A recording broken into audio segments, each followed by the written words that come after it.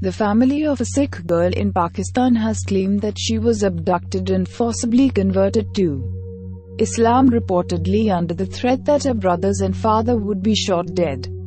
The family has sought help from country's Prime Minister Imran Khan. The girl is the daughter of a granthi of a Gurdwara in Nankana Sahib. Subscribe to the channel for more news.